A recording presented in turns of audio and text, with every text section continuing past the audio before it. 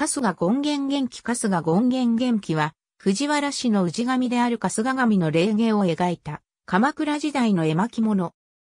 春日権現元気絵巻、春日権現霊元気絵巻などの別名がある。憲本着色、巻古層、全20巻、三の丸直倉館所蔵。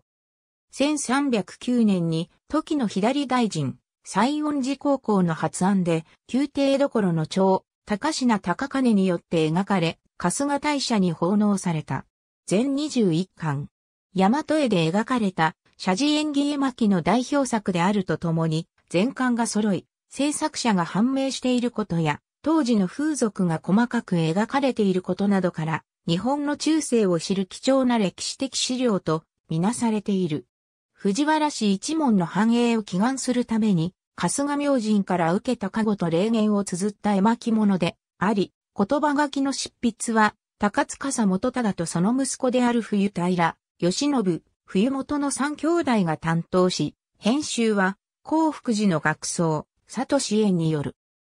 目録負けを除く全20巻に93節の言葉書きと同数の挿絵が収録されており、明恵、上慶、贈与、白河院、藤原春生、藤原忠実などが登場する。朝廷の貴族を中心とした節話集と幸福寺の層を中心とした節話集の二部構成になっており、美術的価値だけでなく、中世日本の信仰を知る優れた宗教文学作品になっている。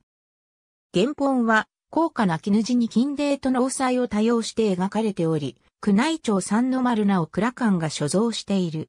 模本は東京国立博物館、国立国会図書館、春日大社、陽明文庫などが所蔵。春日神社の造営の様子をはじめ、土蔵、天井など記録として残っている日本美術の中では初めて描かれたものと言われている。天狗も最も古い絵と言われている。絵画史上極めて貴重な作品であるとして、2004年から15、可年計画で原本の全面的な解体修理と調査が行われている。表紙列の復元には一般種の眉から作った絹糸では太すぎて風合いが出せないため、代々の皇后らが育てている古代種眉の小石丸を使用。藤友絵を螺鈿で表した直径約3センチメートルの軸首は、螺鈿の重要無形文化財保持者、北村詳細により復元された。修復を終えた巻は、随時展覧会などで公開されている。2018年、全館の修復を完了し、同年8月18日から10月21日まで、宮内庁三の丸直倉館第81回展覧会春日権現元気絵から蘇った鎌倉絵巻の名品マイナスにて転換された。県一、竹林殿の不審の場面、大和国の官人、藤原光弘は、大和川の北岸に夜ごと光る霊地を見つけた。そこを訪ねて行ってみると、尊い女人がいて、この地は子孫繁栄の霊地であるとの託戦を受けたまわった。光弘は、この春日明神用号の地である、生駒郡、山号に館を建てて移り住み、竹林殿と称した。それから数十年後、藤原基地県の夢に、春日明神が現れる。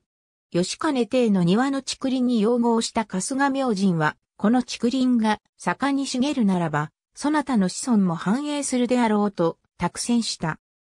吉金は、春日明神を祀る社を立て、神の竹を決して切りませんという誓約書を書いた。画面は竹林殿の不審。順上で水平を測るもの、曲がり金や牧場で材木に目印をつけるもの、槍金や金で材木を加工するもの、食事をするもの、木くずを運ぶ子供たちなどが描かれる。画面右方の指図絵を持ち、右手で何かの指図をしている男が棟梁である。画面左は藤原基地県の夢に貴女が現れた場面。邸内には就寝中の吉金夫妻が見える。庭の竹林の上に現れた、清掃の貴女が春、日大明神。以下の画像は、模本のものである。ありがとうございます。